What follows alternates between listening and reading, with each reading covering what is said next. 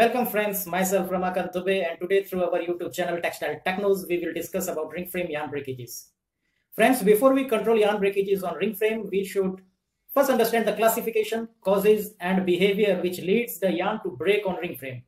So watch this video till the end to make the ring frame work with controlled yarn breakage rates. Kindly subscribe my YouTube channel Textile Technoz and press bell button to get new video notifications.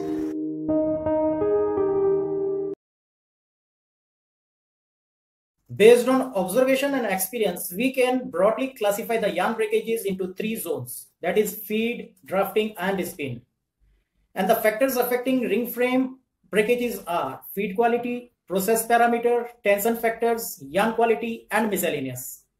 We will elaborate the details considering both the zone and the factors.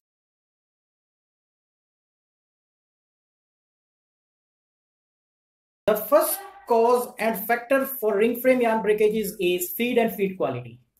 Roving irregularity having thin place and slub leads to weak place generation and so it causes either roving break at ring frame creel or yarn break after drafting. Roving TPI also plays an important role in yarn breakage rate at ring frame. Insufficient TPI in roving leads to ring frame creel breakages and higher TPI in roving leads to undraft or hard end on ring frame. Moreover, the undrafted roving does not suck into the suction pipe easily, so may cause multiple yarn breakages on ring frame. As a guideline for roving TPI, I would say that it should be sufficient that the speed frame works with zero bottom flyer breakages.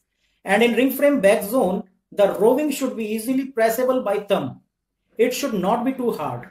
And at ring frame, there should be zero creel breakages. Moreover, the content on roving bobbin should be appropriate to avoid high creel opening. Roving guides should be damage free and the diameter should not be too small as under both cases the thin places will be created which will lead to higher ring frame yarn breakages. Bobbin holders should be free rotational to avoid thin creation in yarn.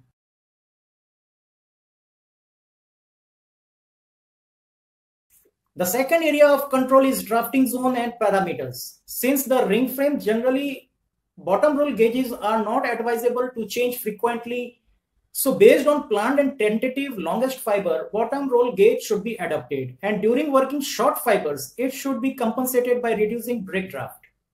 The front saddle should be such that the top apron and top front roll should have a clear gap of 1 to 2 mm in top arm loaded condition. Narrow saddle gauge leads to higher end breakages. Draft on ring frame should not exceed by 42, which not only increases higher IPI but also creates higher breakages on ring frame.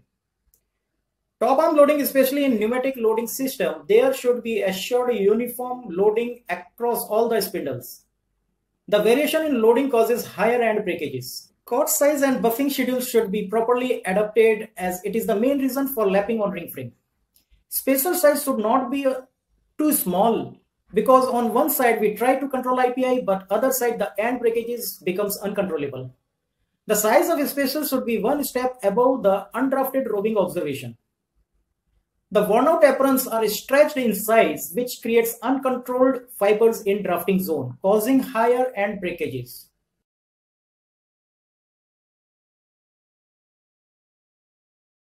Third area is spin and tension. It includes the spindle speed which should support by our ring frame mechanical condition. Increase in spindle speed can only be planned if the preventive and spares of ring frame are perfect. Ring traveler weight should be with zero weight variation across the ring traveler lot. And the profile should match with the material, count and type of yarn which is being produced. Flycatcher gauge should have 1.8 to 2 mm gap with the ring traveler. Worn out tapes causes TPI variation and leads to weak yarn generation. OHTC should be effective and the air blow from the nozzles should be optimum. Moreover, the nozzle should not disturb the fibers in the drafting zone.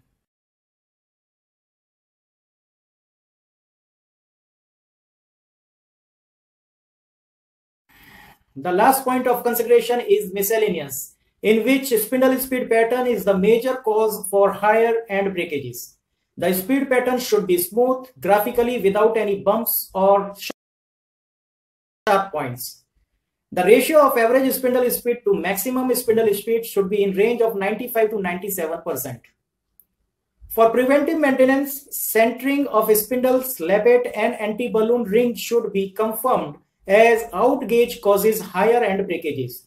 Also, ring rail movement should be confirmed as smooth working without any jerk.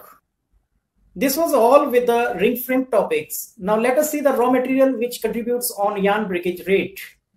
Seed coat neps and trash in carded and combed sliver should be under controlled as seed coat neps and trash leads to weak places and may result into yarn breakages.